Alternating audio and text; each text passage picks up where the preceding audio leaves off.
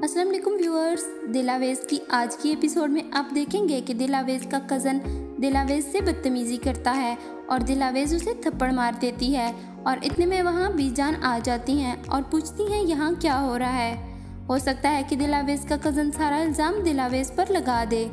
फारिया यासर को 25 लाख रुपए देने का वादा करती है और अपने घर से जेवरात चोरी करके या तो यासर को दे देती है या फिर दिलावेज पर इल्ज़ाम लगा देती है कि इसने चोरी की है। और यासिर फ़ोन करके फारिया से कहता है, मैं जानता था कि आप मुझे अकेला नहीं छोड़ेंगी।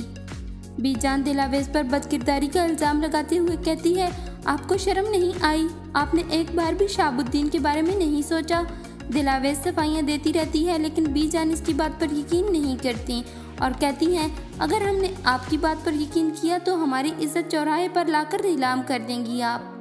फारिया दिलावेज से बदला लेने के लिए इस पर इल्ज़ाम लगाती है और शहाबुद्दीन फारिया की साजिश पर यकीन करके दिलावेज पर हाथ उठाते हैं और कहते हैं, हमारे बाप ने ठीक कहा था कि इस गंद को उठाकर घर से बाहर फेंक दो, लेकिन हम नहीं माने और आज आपने अपनी औकात दिखा दी। बीजान कहती है, ये लड़की अब इस घर में नहीं रह सकती।